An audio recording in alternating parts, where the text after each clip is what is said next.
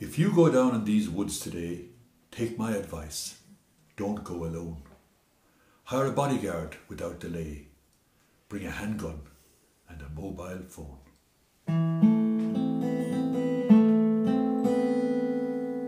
If two roads diverge where leaves are yellow, when the wind is rising and darkness nigh, don't heed the words of that poet fellow. Go for the one more travelled by.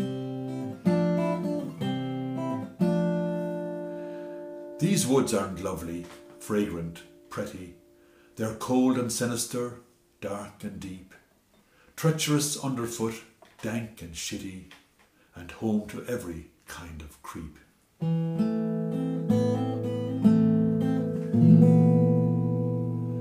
The hoods now in these woods residing, rootless in nature and hard of neck, ain kin to Robin or Little Red Riding. They spit on Frost and M. Scott Peck.